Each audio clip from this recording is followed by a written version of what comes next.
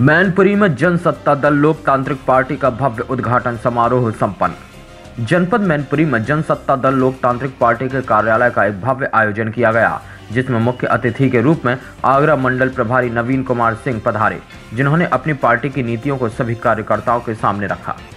बहुत सी संख्या में कार्यकर्ता मौजूद रहे, जिसमें मैनपुरी कार्यकारिणी का गठन हुआ। मनोज कुमार चौहान जिला अध्यक्ष व सुधीर चौहान को प्रधान महासचिव नियुक्त किया गया, तथा रोहित भदौरिया को छात्र संघ जिला अध्यक्ष व रीता चौहान को महिला अध्यक्ष का भार मिला।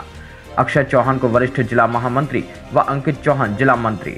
युवा प्रशांत यादव जिला अध्यक्ष, युवा आर के चौहान जिला मंत्री, भोले चौहान जिला मंत्री, मंच संचालक कमलेश चौहान, संजीव कुमार मिश्रा युवा प्रधान महासचिव, प्रमोद कुशवाहा जिला उपाध्यक्ष। राजू चौहान, ठाकुर विपिन सिंह तोमर जिला वरिष्ठ उपाध्यक्ष, युवा कार्यकर्ता के रूप में आए हुए अनिकेत तोमर सनी मिश्रा दिलीप कुमार रजनीश कुमार आदिगण उपस्थित रहे और कई कार्यकर्ता भी मौजूद रहे जिसमें आगरा मंडल प्रभारी नवीन कुमार सिंह ने सभी कार्यकर्ताओं को 2022 में आने वाले चुनाव की तैयारी में लग जाने को कहा और अपनी पार्टी की नीतियों को भी गिनाया।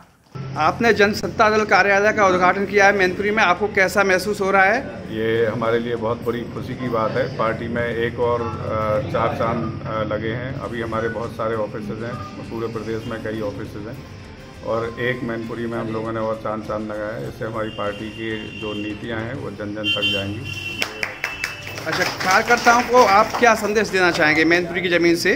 कार्यकर्ताओं को यही संदेश देना चाहेंगे कि दो चीज़ें होती हैं एक आसान रास्ता होता है एक संघर्ष पूर्ण रास्ता होता है। जो हमने चुना है वो संघर्ष पूर्ण रास्ता है। माननीय जो हमारे राष्ट्रीय अध्यक्ष जी श्री राजा भैया जी हैं उन्होंने हमेशा ही संघर्ष पूर्ण रास्ता चुना है। उसी पे मिल के उसी पे चल के उसी पे चल के मेहनत करें सभी मेहनत करें तो सफलता हमें ज़रूर मिलेगी कार्यालय का उद्घाटन हमारे मंडल अध्यक्ष जी ने किया है और जी?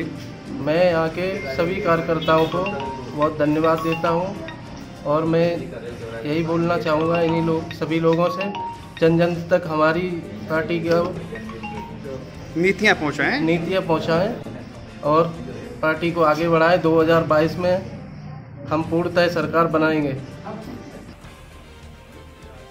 मैनपुरी से राजनारायण सिंह चौहान की रिपोर्ट, बुंदेलखंड टुडे झांसी।